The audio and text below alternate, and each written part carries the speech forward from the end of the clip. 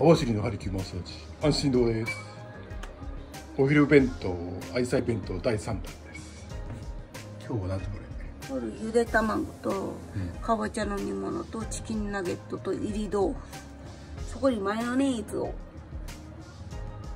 イン。れはい。終了。これから食べます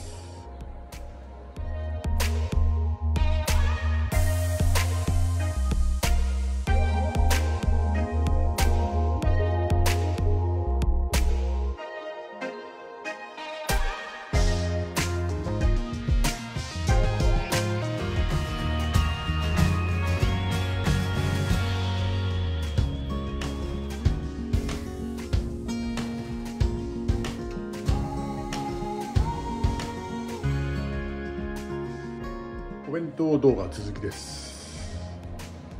現在安心堂9月10日から D バラ園も使えるようになりまして全28ブランドクレジットカード電子マネー QR 決済使えます。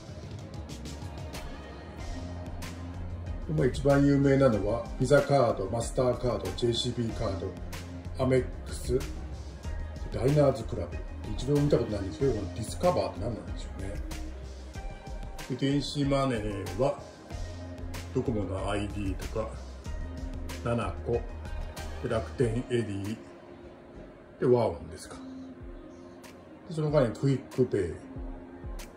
交通系は今までスイカしか使ってもらったことないんですけど本当は北かとかねなんかな本州の方のパスモ、トイカ？マナカ？イコカ、スゴカ、ニモカ、そして多分福岡の早川県ですね。で、アップルペイ。一応アンドロイドペイも使えるらしいんですけど、ここに書いてある。で、LINEPay、メルペイ、PayPay。一番新しい D 払いですね。もうどこかなもうどこですね。施術中はマスク着用よろしくです。こっちにもやってますけどね。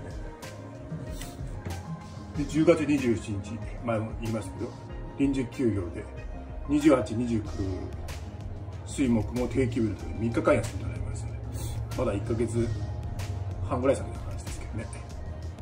よろしくです。こんなにいっぱい使える治療院ないと思うんですけどね。応ねやっぱり国家資格がないと認可が下りないんで。あの整体とか介護とかで使えませんね。まあ整骨院は柔道整復師だけど使ってないですよねそして弁当を食べますあと梅干し2つ添えてね。よかったらチャンネル登録よろしくお願いします。いや今日やっと2人でね2週間ぶりにお互いの治療できたんでこれ食べて昼から頑張りますよ。もうちょっと疲れ気味だったんで、ね、そして明日明後日16日水曜日17日木曜日は定休日です、まあ、この動画は今日中にアップできればいいんですけどあとは23日水曜日と30日水曜日ですね。定休日は。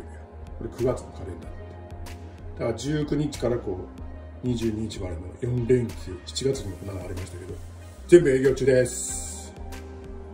お待ちしてますよ。給料前でも各種カーカード使えますからね。よかったら。だ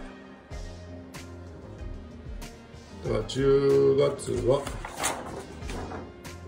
本当はねこれなんか修正費消した後があるんですけど本当は札幌行くはずだったんですけどね。今年はどこも行きませんよもちろん。予約の際にあのあい。引き続きあのけんあの発熱とか風邪の症状も聞いてますしあの最近ここ半月以内に札幌や東京とかの本州の方に行ってなかったりとかそちらの人と会ってないかも確認してますんでよろしくお願いします。で玄関でもあの検温と手の消毒もしてますんで。ちらもマスクしたりフェイスシールドしてます。じゃあまた次の動画でお会いしましょう。網走のハリキューマッサージ。安心堂でした？ Mahalo。またね